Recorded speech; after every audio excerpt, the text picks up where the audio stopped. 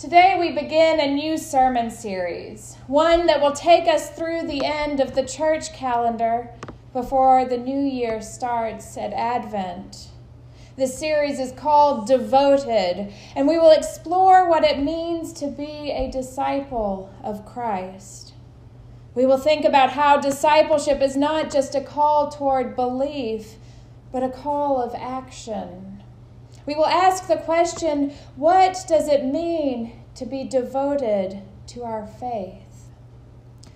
Over the next seven weeks, we will explore how we are called to take our faith seriously, to take faith home, to wrestle with God, to affirm resurrection hope, to practice generosity, live by faith, and make Christ central we will think about what Jesus was really asking of us when he said, Follow me. To follow Jesus isn't just to take one step in the right direction. Following implies that it is a continuous motion, it is an ongoing journey.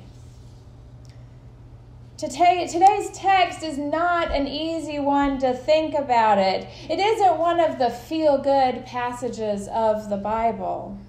It's one that challenges us, makes us think about what Jesus meant when he said these words. It's one that makes us take a close look at our own lives and faith. Jesus begins by addressing the crowd that was following him, and he said, Whoever comes to me and does not hate father and mother, wife and children, brothers and sisters, yes, and even life itself, cannot be my disciple. Now you may be thinking, Whoa, Jesus, I thought loving my family was a good thing. It is. Please don't hear me incorrectly. What we have to remember is, as scholar Mark Rawls points out, in Jesus' time, the rabbis spoke in hyperbole. That is, they made use of bold exaggeration for dramatic effect. Jesus was speaking in front of a large crowd and he used this shock value to get his point across. It wasn't literal, and that may seem strange to us but it was used and accepted back then.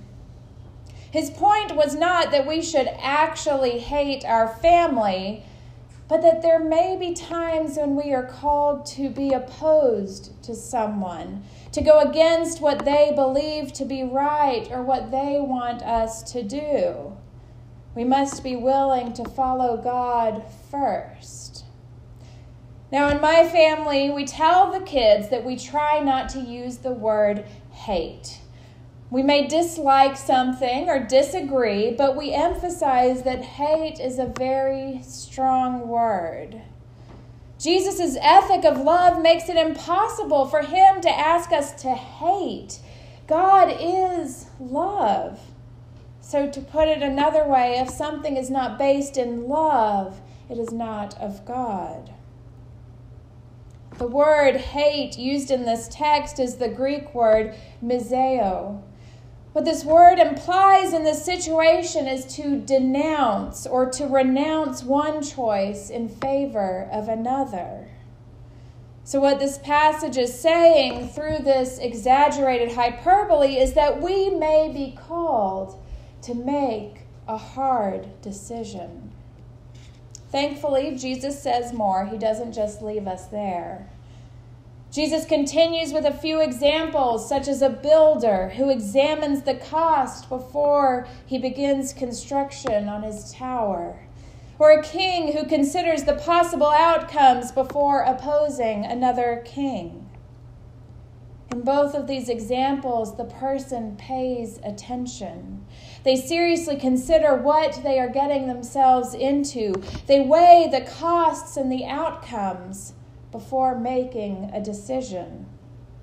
Now, the builder doesn't know if there will be surprise costs, but he knows his trade. He knows how much the materials will be and the price of the labor. The king doesn't know exactly how each of his soldiers will perform, but he knows the training that they have completed.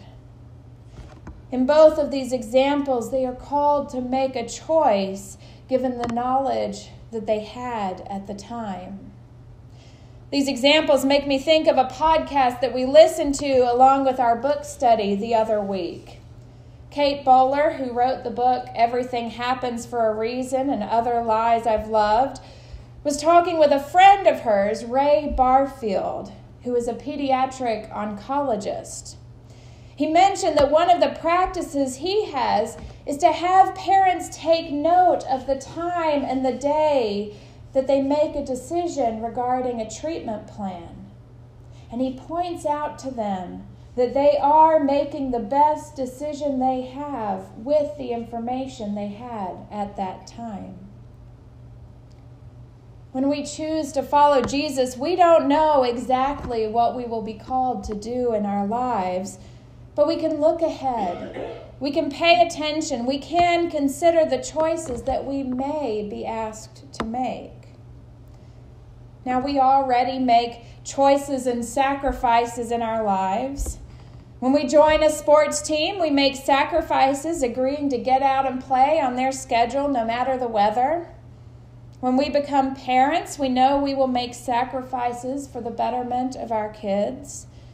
When we play an instrument, we make sacrificing sacrifices, choosing to practice when we could be doing other things. When we commit to a healthier lifestyle, we make sacrifices, paying to join a gym or foregoing that piece of chocolate cake. Are we making similar sacrifices for our faith. When Jesus says, Follow me, we have to ask ourselves the question what am I willing to give up? What serious commitment am I willing to make? Am I willing to commit to be at church on Sundays? Well, people are generally okay with that commitment. Am I willing to go against society and follow Jesus' call for justice and peace? Well, that one's a little harder. Am I willing to change my job and start a ministry? Not everyone's called to that, don't worry. But some are. Discipleship may cost relationally. You may realize that some people are not the best influence in your life. Discipleship may cost you financially as you support church and charities. Discipleship may cost you time and energy as you share your gifts with the world. As I was reading about the text this week and this cost of discipleship, as many scholars called it, I read an example that I want to share with you. In the midst of the civil rights movement, people were called to commit to the work of justice before they knew what it would cost them. They agreed to nonviolence even as they had to endure much violence. They committed to boycott the buses and ended up walking to their jobs for 381 days. Now, when they agreed, they knew that they may be walking for a week or a month, but I doubt many of them expected to walk for over a year. But they made that difficult choice and they committed. How do we do this? How do we prepare ourselves to make these hard choices, these serious commitments, and these daily commitments? First, we prepare ourselves in the best way that we can, and we open ourselves to growth. There was a woman named Cheryl Strayed who spent a summer hiking the Pacific Crest Trail. She prepared herself, getting the equipment she needed and organizing food for along the way. And as she started, she realized her bag was too large and her boots were too small. She was sore and uncomfortable. She had prepared her supplies, but not herself, physically and emotionally.